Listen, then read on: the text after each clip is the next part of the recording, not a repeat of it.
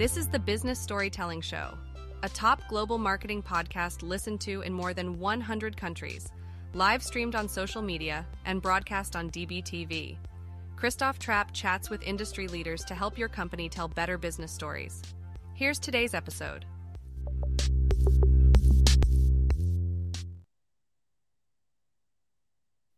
Let's go, business storytellers. How's everyone doing? I'm looking over to the side here because this is the first episode I'm doing with Otter AI, live transcribing the entire show. Amazing. AI. How did we ever live without it? I don't know. Um, and it's not taking anybody's job because nobody was transcribing this baby beforehand. So, anyway, fantastic tool. Definitely would recommend it if you need a link, let me know in the comments or drop me an email. Today, we're going to continue our series this week on where should different things live in an org chart. We talked about in the last episode earlier this week, we talked about content, how content should be its standalone department. As a content guy here, I probably I don't have any objection to that at all. It actually makes sense to me. Why shouldn't they stand on their own and not just be part of marketing so they can help HR, communications, maybe public relations, who knows? But today we want to talk about where should communications live in an org chart because I know many of you love creating org charts so we can look at who reports to who and whatnot. So Grace Williams, she's joining me on the show today. She's SVP uh, at a B2B SaaS media relations agency, Blast Media. Grace, welcome to the show. Hi. Good to see you. Good to be here. Nice to see you as well. Um, so you know, it's interesting how like these two episodes just kind of lined up. You know, we're talking about where should content live, and where should you know we've talked about that plenty of times. Where should different things live? But why is communications? Why? I mean, why is that an important topic? Maybe we'll just start one by one here. Um, first of all, what is communications on in a company, and how does that typically look? Yeah, I was listening to your other episode and kind of also listening to you talk about, you know, where content should live. And I, I have a feeling that maybe we're going to make a similar argument here for communication. So everyone's going to eventually end up in their in their own little silo. Um, but yeah, communications it, it's a broad it's a broad function, right? Um, it, it, encompasses a lot of things for organizations. It's the management of all of the messaging that's coming out of your company to your different audiences, and those audiences could be internal. They could be, you know, your employees. It could be your investors, your customers, um, the media. Obviously, that's a big one um, that my organization Blast uh, plays into. Um, could be government bodies or regulators, um, any industry peers or analysts. Right? There's there's tons of different audiences that you need to communicate with on a regular basis to kind of maintain different things like relationships and reputation, brand image. So um, communications kind of encompasses, you know, all of those different activities. And and within communications, of course, there's different subspecialties for all of those things, right? Um, we work mostly with the press and we work in media relations. But when we're working with analysts, you know, that's analyst relations. There's things like crisis communications, internal communications, executive communications, um, customer communications that are all their own kind of subspecialties that exist with under that really big communications umbrella. You know, I think what a lot of people struggle with is that one type of communication isn't necessarily another type of communication. And it's kind of like when you even writing or content right? I mean you can be a writer and you can be really good at certain types of writing but that doesn't mean you're going to be really good at other types of writing. Um, and certainly that makes sense but how does a company even know what kind of internal communications they need? I mean all those things you just mentioned i'm like oh well you need this and you need that too. And oh my goodness internal communication of course but like how do you even like i mean who has the budget yeah, well, it's it's a great point. I, I would say that communications is uh, severely underfunded, probably at most organizations, to have all the functions that are probably necessary or needed. Um, but just like any other department, when you're scaling, certain things become, you know, more important as, as you grow. Maybe internal communications or having a specific um, internal communications cadence isn't really necessary if you are a scrappy startup where everyone is on Slack together all the time, kind of discussing similar things. Maybe it matters a lot more when you reach 200 500 people and your ceo needs to start sending you know a weekly note um, does your ceo have capacity to do that herself or does she need you know support from someone who's doing internal comms my organization um, is growing and we recently started a monthly employee newsletter because slack became sort of overrun with too many things to where things were missing as far as like you know when is your assessment due and what days do we have up upcoming and what company activities do we have?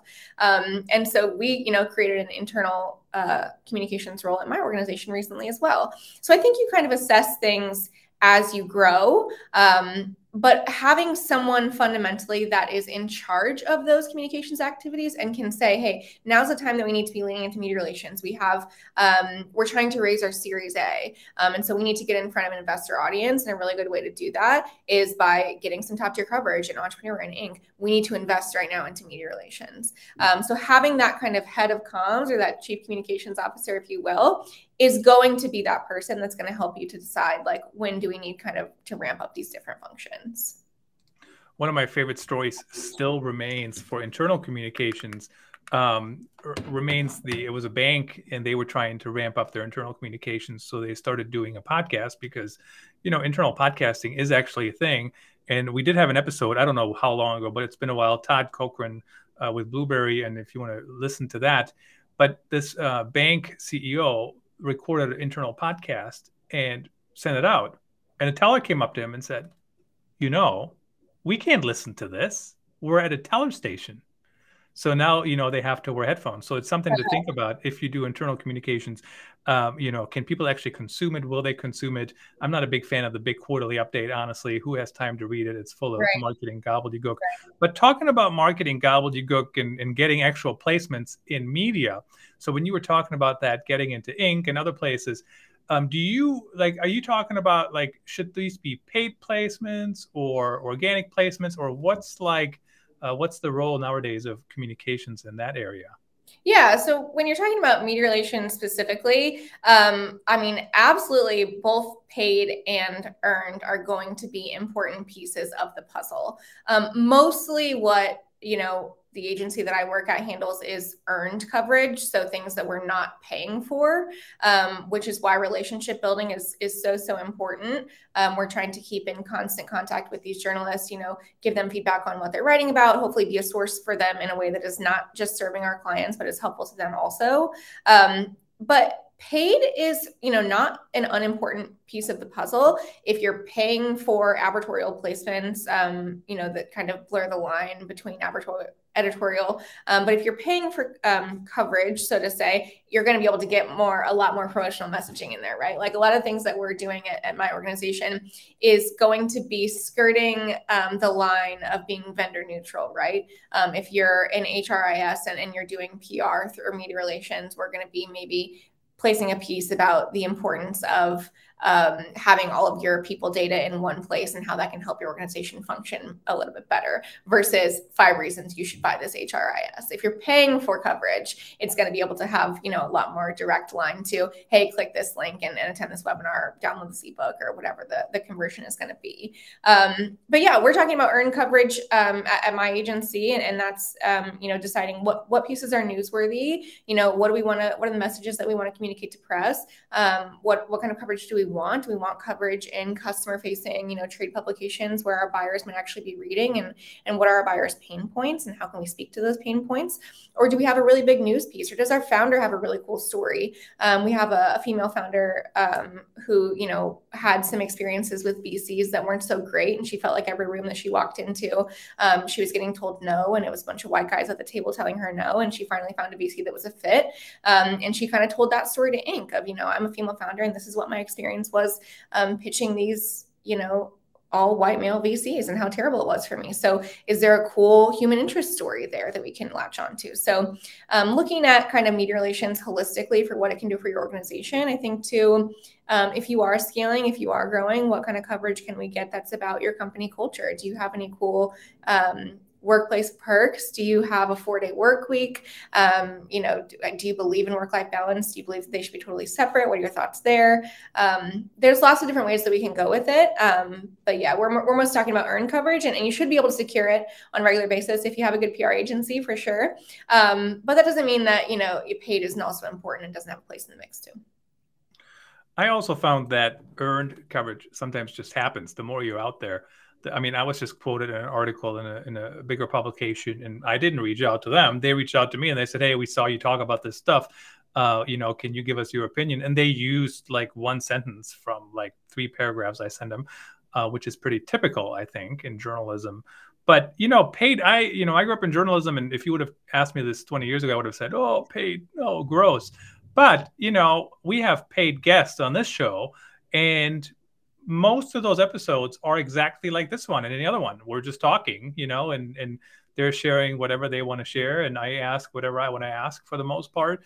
And it's just like I think the the line of, you know, a paid campaign doesn't mean it's just an ad, right? As you said, but advertorial has a bad taste in some people's mouth too in some industries. Right. Um, I, think also, I, think also, maybe um, maybe readers don't always know the difference between advertorial and editorial. And I mean that in a good way for the person that's paying for the spot. Um, there are now things that are kind of in between paid and organic. So Forbes councils are a really big thing, right? You can pay to be part of this council and you can pay to have a, a profile on Forbes. It's really not a large investment. It's like probably $3,000 for the year. And you can get a couple pieces on Forbes that are that have your byline and you can get a couple quotes, quote placements. That's very different from a sponsored piece on say HBR that that might cost you $50,000 on its own. Um, and so there's different investment levels and, and, you know, journalism is changing very drastically and newsrooms are shrinking. Um, we're seeing a lot more paywalls and that's because these organizations, you know, need to have revenue incoming that's not just from uh, sponsors. Um, and so I think we have to kind of change with the times and change what our interpretation is to where maybe previously advertorial would have been a really big negative, kind of like you were talking about. And now we're finding ways to kind of integrate the two you know, not to go down this rabbit hole any longer, but the last comment I will make is like everything I do is corporate storytelling, business storytelling, right? So there's a business reason why it exists.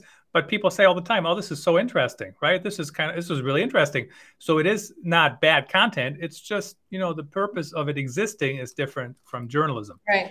Now, we talked about um, you know how do you create a content department earlier this week and of course somebody needs to lead it and you already mentioned that too. Even if you don't have a communications team separately somebody has to lead the effort and certainly i know that no program i've ever seen work has worked without somebody owning it and then if that person leaves into a different job or a different team you know the thing just kind of disappears. But how do companies go about creating a communications team? Like what like who's the for lack of a better term, who's the perfect hire to lead that?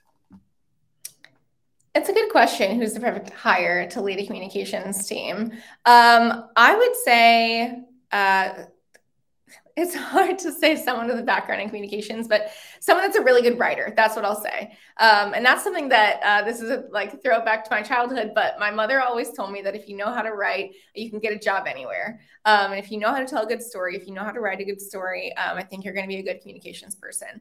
Um, a lot of I would say former journalists, you know, there are journalists that have been laid off. Um, there are journalists who have lost their jobs, are looking to kind of go to the brand side those would be good individuals to lead a communications team. Um, someone that, you know, historically communications has lived inside of marketing. Um, and so someone that is a brand marketer, but more focused on the brand side, the storytelling side, then maybe the demand gen side or the numbers side would be a good communications person. Someone that has worked with executives, um, maybe you've been, um, you've prepared decks for executives, you have been a speechwriter for executives, um, you're really good at distilling down, you know, complex information or being told a bunch of things and being able to write that out into bullets. Um, those would all be, you know, good types of people. Um, understanding marketing is key. You know, historically, communications has has lived inside of marketing, and so um, those are people you're going to have to work with on a regular basis. You're going to have to understand um, the campaigns that they're running, the customer communication, customer communications that they're running, um, what their goals are, and so I think having a, bar, a, a background in, in marketing or, or journalism, you know, would be would be good hires. You know, this is a theme I keep hearing over and over and over. Everything lives within marketing. I mean, seriously, is that? Um, and then when I even when I wrote "Is Marketing Good Career," you know, I talk about all these different things that you could be doing in marketing because people ask me, "Well, is marketing good career?" Like literally the the title of the book. Um, and it depends on what you're good at, depends on who they need. But why is everything in marketing? Is that just because people haven't figured out that is that just the default because we used to have a marketing team, but we didn't have these other teams yet? Or why has it evolved into that? Yeah, I think marketing has become a catch-all uh, for things that maybe don't fit other places, or or maybe marketers have grabbed at things that they feel you know that they that they could oversee, so that they can kind of climb the corporate ladder, so to say, right? Like, okay, if I oversee design and ABM and comms and demand gen, maybe I can become a CMO. That's my path to the C-suite. I think there's a lot of different reasons, um, but the burden on marketers is one of the main reasons that I believe communication should live outside of marketing. Um, they have to do so much, right? Like they have to know everything about everything, analytics and and data, and how to integrate AI into their campaigns, and how to reach customers, and how to run email marketing campaigns. And then there's also the entire like video design aspect, social. I mean, it's huge, huge, huge, huge, huge. The burden on them is huge. And think about someone that's entering marketing, like you said, is marketing a good job? I don't know what the heck are you doing inside of marketing. Um, and you know, I, I'm a believer that I think it's good to know about everything, but being a specialist is probably what's going to make you really good at your job and, and really valuable to an organization. Um, and so if there are lots of different specialists within, I think it's helpful um, instead of people that kind of, you know, are more of a jack of all trades or know a little bit about everything and I know there's some companies they're trying to push this T-shaped marketer concept or T-shaped communicator, right? You can do a lot of things, but you're not an expert at any of them. And I, I certainly believe, I mean, I did not grow up as a broadcaster, even though I've, I've been on TV before in my journalism career. But, you know, I wouldn't have said, hey, I'm a producer, like, let's produce a podcast. Like, never would have crossed my mind. Just kind of, you know, fell into that and, and, and learned things. Um, but as people are thinking about becoming a communi- communications professional, what kind of training should they go after? Yeah, it's a good question. Um, if you want to be in comms, I'm going to stick by my advice that you need to know how to write. Um, and you need to know how to write in a way that's better than what ChatGPT or Bard can produce, um, because those tools are, are certainly you know, ramping up their ability to write content. Um, but a human really is going to be better at, at making sure something resonates with other humans. Um, so writing is really important. Relationship building is extremely important, especially when you're talking about media relations. Um, you know, someone that's interested in reading and interested in news, um, depending on what industry you're working in, if you're working in HR, if you're working in IT, um, caring about the vertical that you're inside of, um, being able to, you know, communicate quickly with executives um, and convince them and get their buy-in. Um, when you live inside communications, you don't have a direct line to revenue in the way that marketers do. Um, and so you need to be able to convince them why an employee newsletter is going to be a good idea, why an employee podcast might be a good idea, why you should take time out to um, take this interview with CNBC, um, why it matters that we brief analysts on a quarterly basis, those sorts of things, because they're not going to be able to see the direct return on investment as other activities like a demand gen campaign. And so a background in being a persuasive person, being a good writer, um, being someone who likes to consume a lot of information, um, all of those things I think are important. And being a people person, you're going to have to work with lots of people. you do have to work with a lot of people. And it took me a while to throw it back up here. Is marketing a good career? You can scan that book right there and grab it over on Amazon. Of course, it's an affiliate link, but it's my book anyway. So uh, it's not like I'm pitching somebody else's content. Now, you know, what's interesting, I'm glad you mentioned, and you kind of stuck to your guns there on, on the whole writing thing. And I use um, AI every day for all kinds of different things, right? But never for writing, because I think if I have to see one more unleash in a headline, I'm going to throw up because unleash seriously is an AI thing. I don't mm. think anybody ever has used Unleash as much as AI uses that today. So something to keep in mind. The writing matters, but you can certainly use AI for outlines, even for questions on podcasts. I just did that earlier today. I said I'm doing a podcast on this topic. What are some 10 good questions? And you know, a third of them were kind of garbage, and you know, four of them were pretty good, and the others were kind of I didn't, I didn't really need them. So something to keep in mind. Uh, maybe in two minutes here, tell me about how do we stand up a communications team? We talked about that in content. We've talked about it in other teams. How do we get it out of marketing and and start its own team? How is that doable? Yeah. Yeah, um, it's interesting. I wrote I wrote a piece uh, for PR Daily about this in January. That was, you know, 2023 is going to be the year of the chief communications officer. I'm still hopeful that it will be. Um, and then even just this last week, I don't know if you've seen, but there have been a couple kind of PR influencers on LinkedIn that have been posting about this exact topic. How do we get communications out from underneath marketing? Um, one PR influencer in particular had kind of the perspective that they think marketing should report into communications. I won't say that I totally believe that. And then the other one was just kind of talking about the differences between the jobs. Um, and you know, I don't think that communications should ever be so siloed that it becomes anti-marketing, which is what some of the language I think on LinkedIn has been in the past week or so. Um, and that should be the case for any organization. But if you think about like a finance department a finance department supports hr a finance support department supports sales um, and i think of communications like that as well right? Like there's communications that need to happen for hr there's communications that need to happen for sales there's communications that need to happen for marketing there's communications that need to happen for executives so um, you know why should we be kind of underneath marketing when we're reaching out to these different parts of the organization as well so how to stand it up is, you know, change your reporting structure, get more face time with your CEO. Um, if you are someone who is, you know, a senior vice president of communications, you're underneath the CMO. Um, make an effort to showcase more of your successes to your executive team make an effort to get a slide in your board deck um, and showcase some of your your kpis or your okrs um, and start showcasing your value directly to your executive team, not always through your CMO. Um, obviously, hopefully, you can do that with the support of your CMO. I think they would probably be supportive of that. Um, but just make yourself seen and make sure that they understand the entirety of kind of what is under communications. It's not just one thing.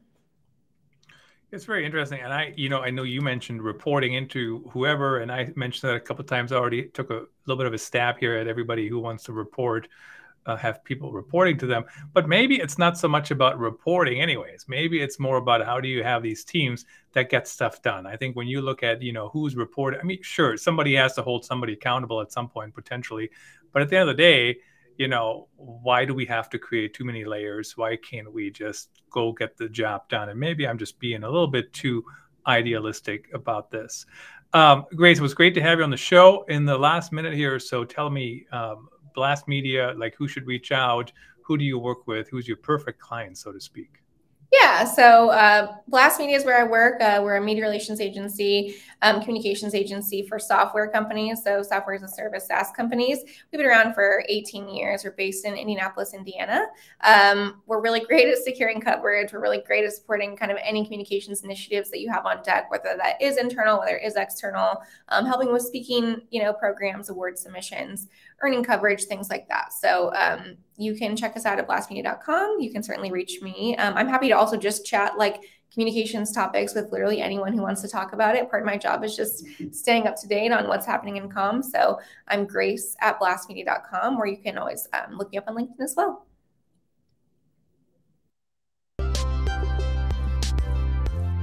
Thanks for tuning in. Please rate and review the Business Storytelling Show on your favorite podcast platform and subscribe so you don't miss the next episode.